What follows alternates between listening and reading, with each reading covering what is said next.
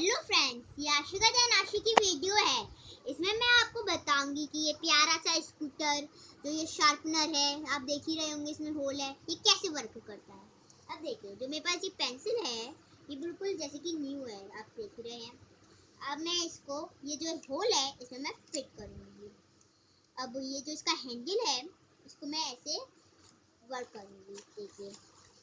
आप देख रहे हैं कि ये ऐसे, ये पकड़ने वाला है, इसको हम नहीं करेंगे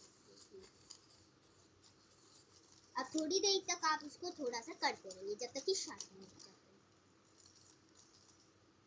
देखिए, ये आपकी न्यू पेंसिल आ गई पूरी शार्प होके अब देखिए, ये अब आप सोच रहे होंगे, इसका ये जो हमने ये छीला है, इसका जो कूड़ा होता है, वो कहाँ निकलेगा?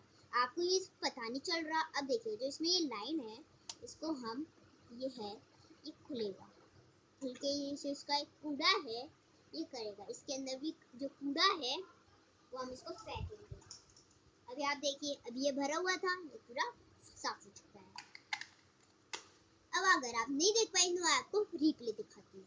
देखिए, ये जो इसका, ये है छेद, हम इसमें इस पेंसिल को फिट करेंगे। जो इसका ये है हैंडल हम इसको घुमाएँगे।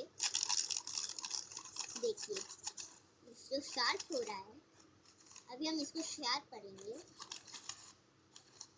जब तक ये तरीके से छिल नहीं पाता। अभी ये बहुत अच्छे से वर्क करेगा। जब ये छिल जाएगा तो ये अपना आप ही थोड़ा सा वर्क करना बंद कर देगा। जैसे कि अब ढीला हो चुका है।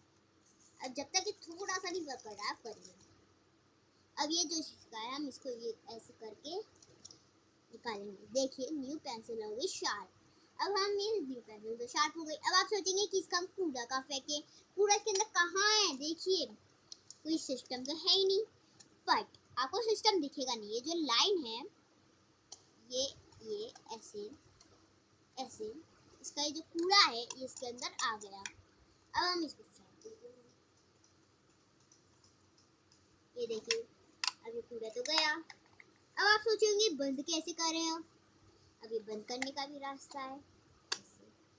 थैंक यू फ्रेंड्स अगर आपको आशिका जैन आशी की वीडियो पसंद आई हो तो आप प्लीज़ सब्सक्राइब एंड लाइक करें और कमेंट भी दें। Thank you